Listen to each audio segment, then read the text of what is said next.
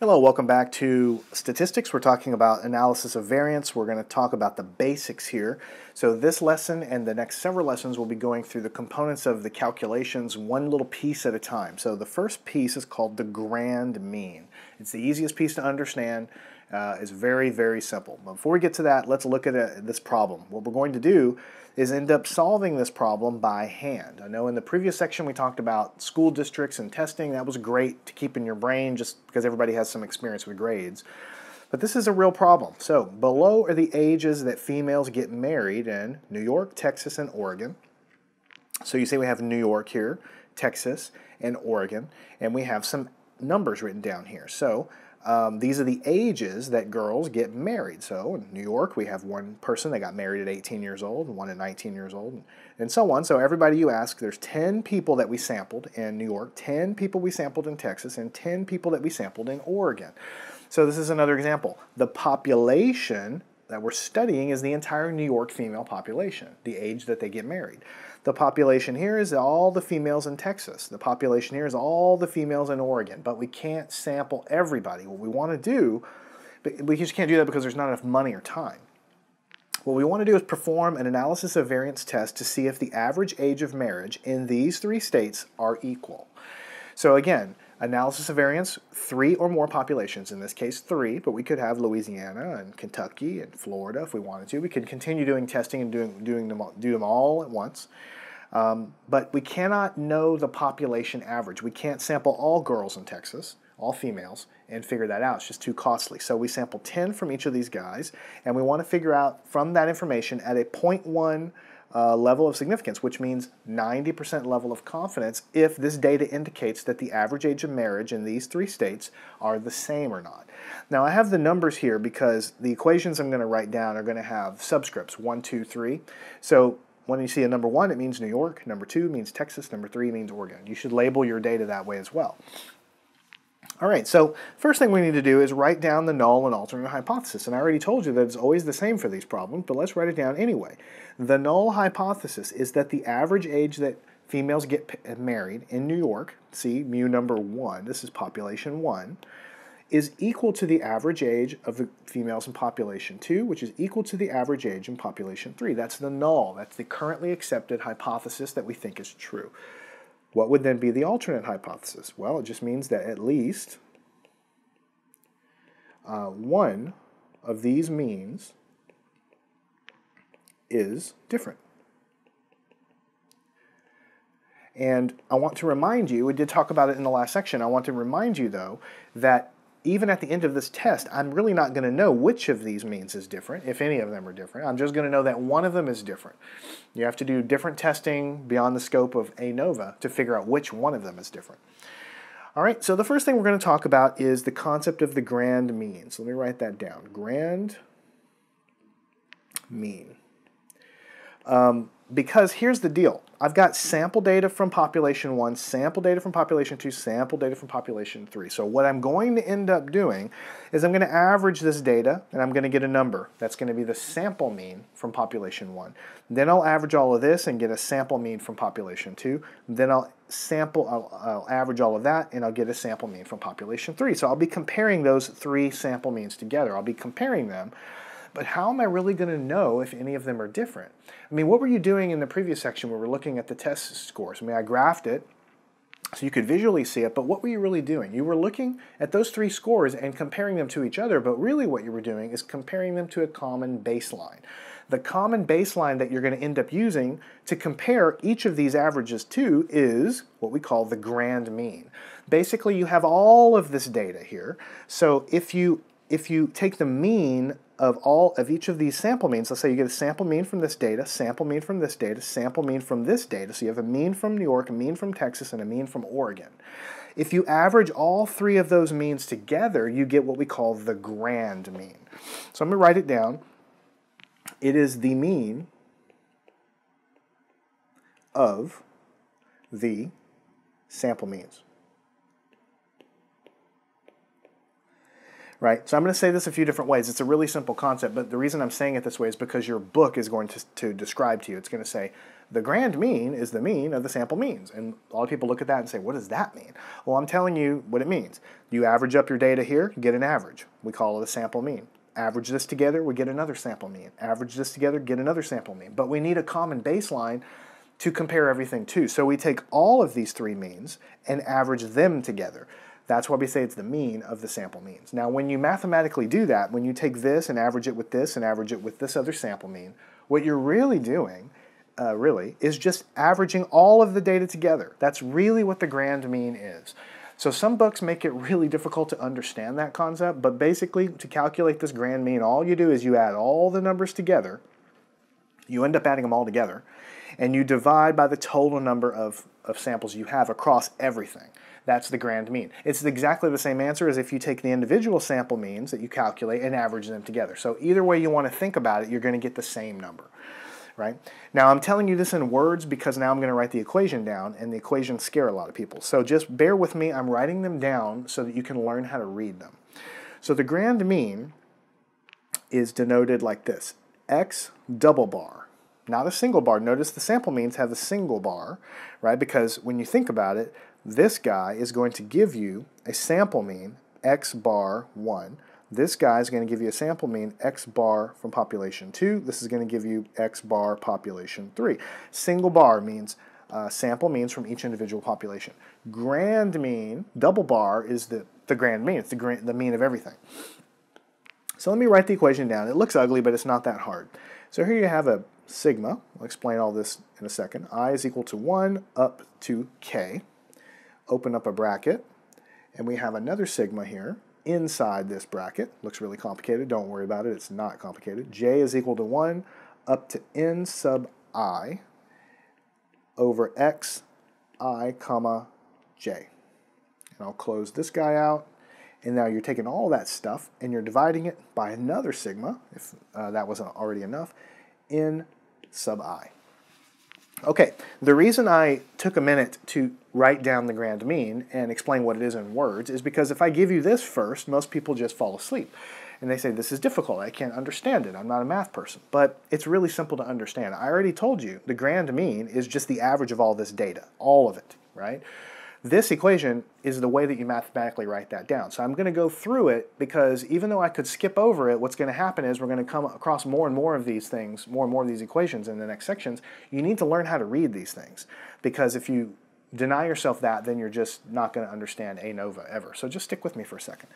All right, first of all, um, I need to explain a few things from algebra, right? So this sigma here, this big E, this means you're adding things up. This one means you're adding things up, and this one means you're adding things up. Now I have to write a few things down off to the side before you'll really understand what it's saying. Um, k, this value of k, k, is the number of populations. In this case, three. Right, so there's three populations. So when I actually calculate it, it's going to be I go goes from 1 up to 3. If I had 16 populations, then I would be going from 1 up to 16 all right? Then you have this guy here, and this guy n sub i appears in two different places down here. So I'll write this down. n sub i is the sample size, sample size of ith population. Right? So we have a population of New York. We took 10 samples. The sample size here was 10. Texas, we took the same number, 10 samples, so the sample size was 10. Here we took 10 samples, the sample size was 10. So I is just a letter that represents a number. So the way you, you really, what I'm really trying to get across to you is n sub 1 was 10 because we took 10 samples. n sub 2 was 10 because we took 10 samples. n sub 3 is 10 because we took 10 samples. But again, when we do ANOVA, I'm doing it with the same number of samples now, but you know, I could take seven samples from New York eight samples from Texas, 10 samples from Oregon, N sub 1, N sub 2, and N sub 3, the sample sizes would just be different. All right? So now it's time to, to try to, to figure out what this is really telling us, okay?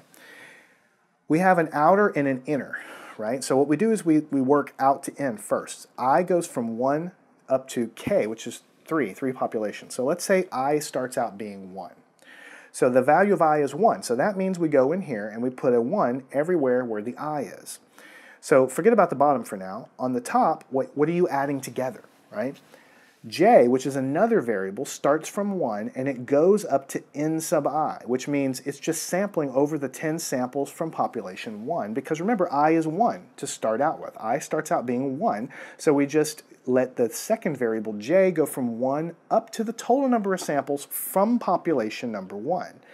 And this sigma means I'm adding together what's inside here is the, all the different values. Basically, all you're doing is this is telling you that you're just going to add up all the values from population number 1. Because, and I didn't write this down yet, I'll write it down right here, xij uh, is the jth sample from the ith population. So as an example, I'm just going to give you a couple of examples. Okay, X11 from population 1, sample number 1, population 1, sample number 1 is just 18. Okay, X21, the first letter here is the population that you're on. This is the sample from the second population, sample number 1, is second population is here, sample number 1 is also 18. And just one more example, X31, from the third population, sample number 1 is 21. So now you have all the pieces in place. Basically what's going on here is you start out with the outer loop, you set i equal to 1, and then you come in and put i equal to 1 here and i equal to 1 here. So you're, you're summing, you're adding up, that's what the sigma means, you're adding up all of the values from population number 1 across j, which is the samples from population number 1. So I11, I12, I13, I14, I15, I16, I17, I18, I19, I110. So you're adding all those together. That's what the sigma means, right?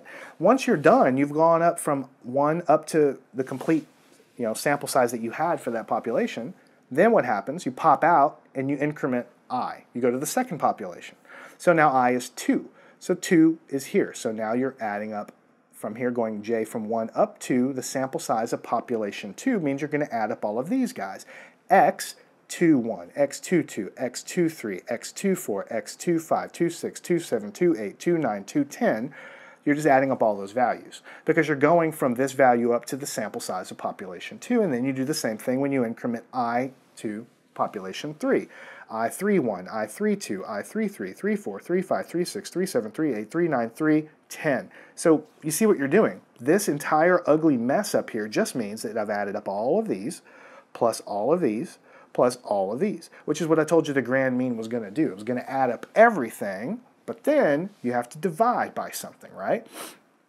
Notice what's on the bottom. You don't have anything on the top and the bottom. It means you just sum all of the total number, the sample size of the ith population. So population number one has 10 samples, population two has 10 samples, population three has 10 samples. You're not summing up the values in there, you're just summing up how many there are. So 10 plus 10 plus 10 is 30. So you see what's going on here? The top here is you're adding up all of these things, then all of these things to that, and then all of these things to that. You add all of them up and you divide by the total number of samples that you have across all the populations. That's what we call the grand mean. I could have skipped that. I know I spent some time on it, but I wanted you to understand it because you're going to see this kind of notation here. That's why I say it's the jth sample from the ith population. So population 1, then increment 1, 2, 3, 4, 5, 6, 7, add all of those up. Go to the next population, population 2, increment 2, 1, 2, 3, 2, 4, 2, 5, and so on, and then population 3, add everything up, divided by the total number. So now that you have all that down, we're going to actually do it. Let's go ahead and calculate that for this data that we have. So I've stripped away the problem statement and I've left just the raw data here, essentially. All right, another way to write that, I know you're probably sick of math, but the grand mean, the way I wrote it before was very compact. This is a, another way to write it that's exactly the same thing.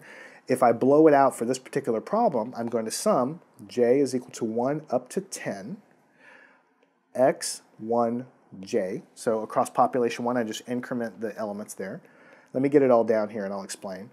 j is equal to 1 up to the sample size of population 2, x2 j, and then I'm going to add to that j is equal to 1 up to 10 of x3j. All that's happening on the top is this is adding up all the elements from this population, this is adding up all the elements from this population, this is adding up all the elements from this population, because in each case I'm running up from 1 up to the sample size, 3, 1, 3, 2, 3, 3, 3, 4, so on, 2, 1, 2, 2, 2, 3, 2, 4, so on, 1, 1, 1, 2, 1, 3, 1, 4, so on. Adding them all up on the bottom, you know, we already said that it was the sum of the total number of samples that you have. So really on the bottom, it's just going to be 10 plus 10 plus 10, which of course you know is, is the 30. So you're basically summing up all the samples divided by the total number of samples. That's what the grand mean is. So to be absolutely clear, the grand mean is, drum roll please, 18 plus 19 plus 20 plus 21 plus 22 plus 23 plus 18 plus 19 plus 20 plus 21.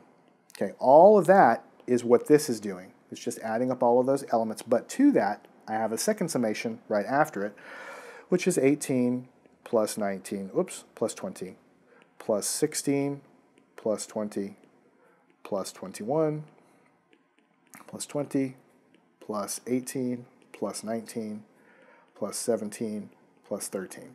Okay, and then I add to that from the last part 21 plus 22 plus 17 plus 18 plus 22 plus 19 plus 21 plus 20 plus 18 plus 23.